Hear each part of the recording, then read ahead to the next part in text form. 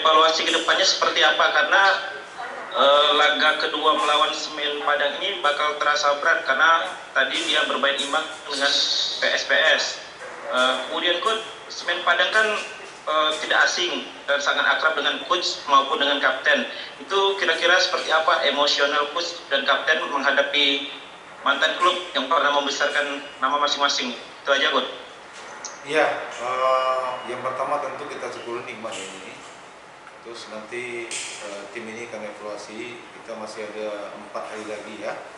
Pertama tentu besok hari Kamis hari Jumat Sabtu Minggu Senin baru kita main.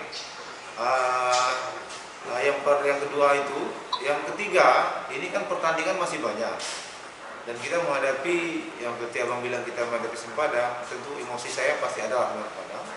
Karena bagaimanapun saya sudah 16 tahun di Semen Padang dari mulai pertama sampai ikut ya.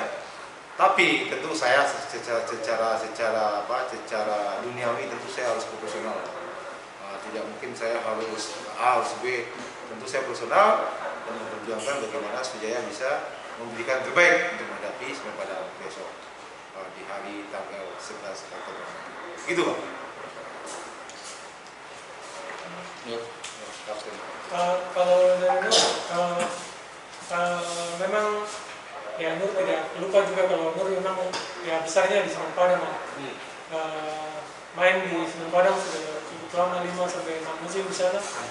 Tapi buat Nur di mana Nur bekerja untuk menafkahi keluarga? Itu Nur fasilitas untuk klub di mana Nur menafkahi keluarga dari situ? Jadi Nur pikir tidak ada masalah. Ya memang Nur respect sama Semen Padang.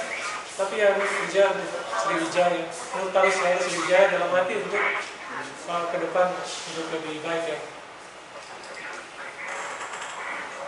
mungkin ada yang lain? Silakan teman-teman